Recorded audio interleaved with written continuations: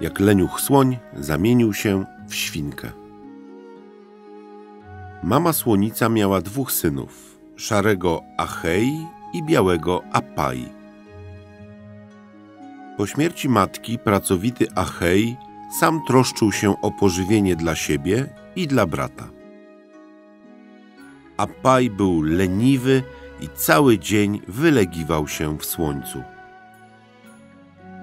Pewnego dnia Achej namówił brata na długi spacer. Leniwy Apaj bał się nie tylko gór, ale i porannej rosy. Lękał się i wody, choć nie była głęboka. Trzeba go było co chwilę z niej wyciągać, bo toną. Po długiej wędrówce przybyli do lasu pełnego drzew bananowych.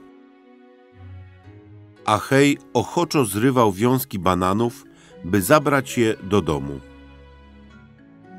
Biały Apaj najadł się dosyta, ułożył się pod drzewem i zasnął.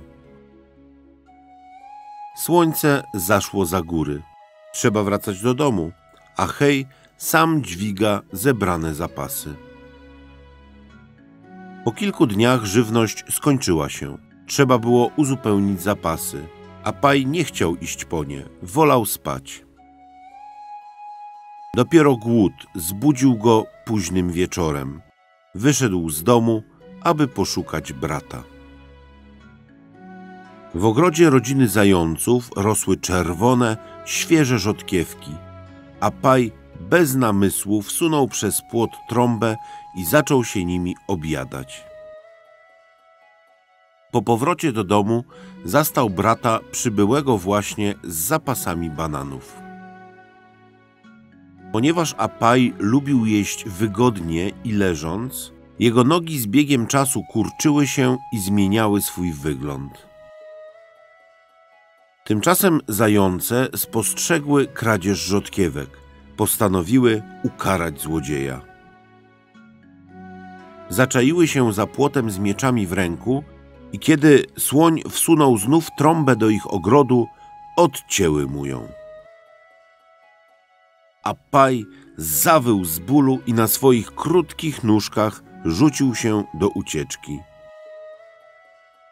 Zbolały i zmęczony, zabłądził i trafił do czyjejś zagrody. Jakieś dziwne ptaki nazwały go świnką i przepędziły go.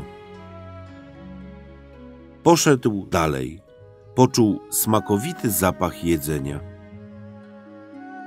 Wszedł do środka. Nagle klap i ruchome drzwi zatrzasnęły się za nim.